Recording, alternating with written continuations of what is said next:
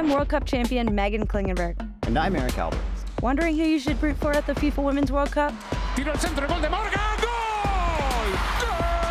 We are hosting a new podcast, My New Favorite Futbolista, where we will introduce you to soccer's brightest stars and the causes they're championing.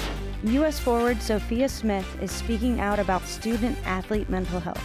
I try to just like approach everything with like you don't know what someone's going through. U.S. defender Crystal Dunn shares how she balances motherhood with elite soccer. I'm round, I'm big, I can't see my feet. Am I ever gonna be able to run for five minutes straight? Ashley Sanchez and Sofia Huerta discuss how they are grappling with their identities as Mexican Americans representing Team USA.